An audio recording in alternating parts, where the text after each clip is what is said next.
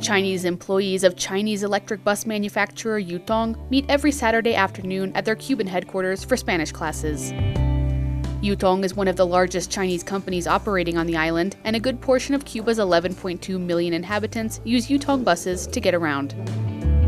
Carlos Lu is a business specialist who studied Spanish at the University of Havana. Every week, he comes to share his knowledge of the language. Cuba es un país con su idioma oficial español. Como llevamos tantos años eh, trabajando aquí, entonces se ve necesario dominar este idioma para poder vivir y comunicarnos con nuestros clientes y además para aprender más eh, la cultura de aquí. Jose Liang is in charge of logistics for the company. Before he came here about five years ago, he barely spoke a word of Spanish. Since he moved here, however, he has slowly been picking it up thanks to interacting with locals, making friends, and of course, these classes. Ese poco a poco, hasta ahora, yo puedo hablar, hablar español con nuestros clientes y cubanos.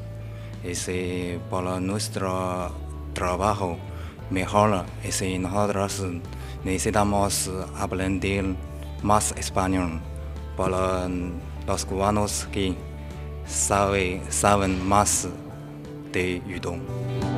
More than 7,000 Chinese buses can now be seen rolling all across the island. Since it first arrived in Cuba, Yutong has met with a great deal of success, winning multiple quality and design awards at local fairs and thousands of commuter fans.